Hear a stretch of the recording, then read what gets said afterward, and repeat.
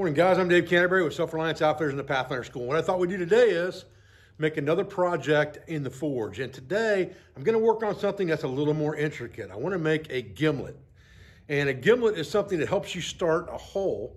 So it's a screwing and drilling type device. Now, you can use just a regular square pointed awl for this and it will work fine. But what that does is it kind of twists in and separates the fibers. What I'm looking for is something that will actually sever the fibers and drill a little bit of a hole. So I'm gonna experiment with that a little bit today. I don't know how it's gonna turn out, but we're gonna find out. So we started out by twisting sort of a drill bit into the end of this. And now I'm gonna draw the other end out a little bit because I wanna be able to put a T-handle on here, similar to my square-sided awl. And then we're gonna dress this up a little bit and see if we can't make it actually bore a hole.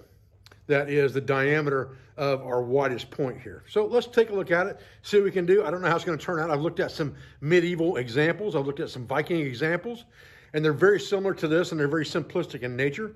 So I wanna see how this is gonna work out and whether it's a worthwhile tool having over just a simple square-sided awl. Stay with me. One of the things that I didn't mention at the beginning of this video was that I am using a piece of 1095 rod. I'm actually using a spring or tool type steel for this device because it's going to be under some stress and I don't want it to bend or break. With a regular awl, you can get away with a little bit more because you're not going to really put a lot of force into that thing. But if you're using something that you're actually trying to drill holes into wood with, that may be a thicker piece of wood than bark or something like that, you're probably gonna wanna use a tool type steel. And you could use something recycled for that. This happens to be a piece of new 1095 rod. But then again, all 1095 is recycled steel anyway. I just bought it pre-manufactured in this. I think it's about a 3 8 inch rod.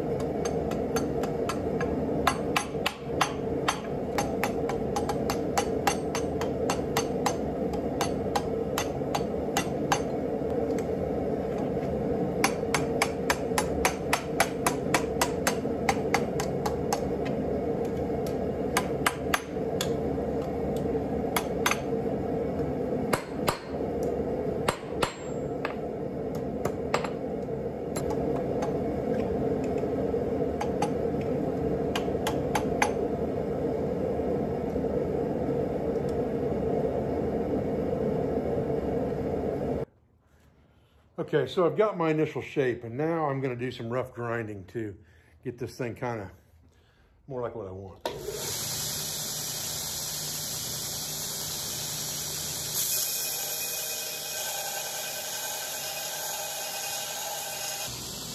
Now the other thing I want to accomplish while I'm doing this, I want to get this tip ground down to a point and this should work pretty good when I get done. So I got a little bit more to remove here. And I'm just doing that on the belt, on the slack side of the belt. And cooling it down between passes.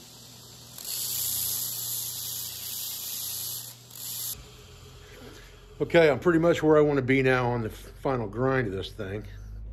Got a really nice screw point on the front of this. Now we're going to heat treat this dude.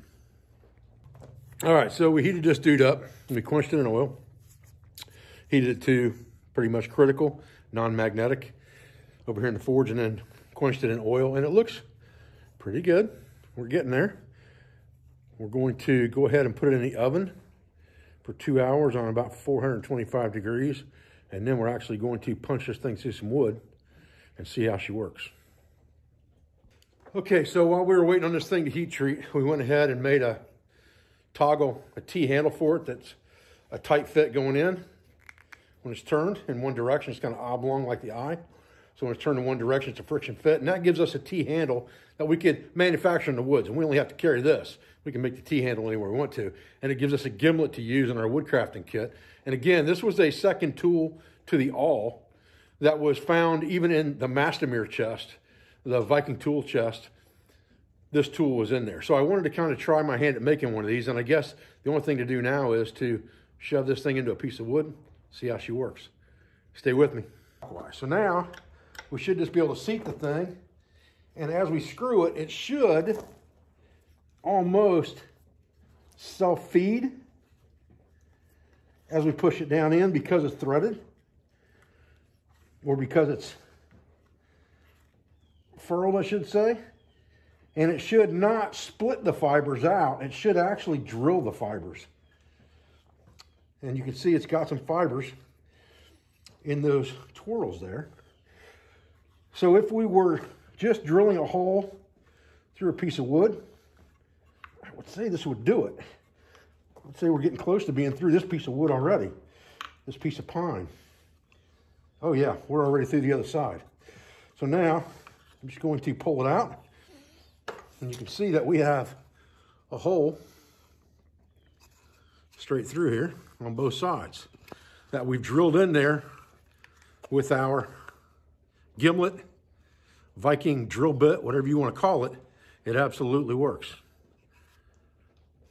All right, guys, well, I appreciate you joining me today out here in the shop to work on this Viking drill bit or this gimlet, as they were called. And, you know, it worked. That's the bottom line. So what's the difference between a gimlet like this and something like an awl? Well, I discussed that a little bit in the beginning of this video in that an awl is going to push into the wood and it's going to separate fibers and that's all it's going to do.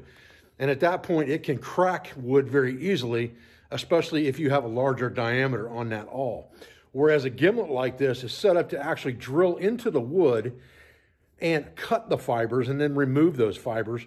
As you can see in that piece of pine that we drilled into earlier, it will make a hole that doesn't split things out. And that's really the difference between a gimlet and an awl is that you're making a small handheld drill bit with a gimlet and an awl is just basically a pushing, punching tool.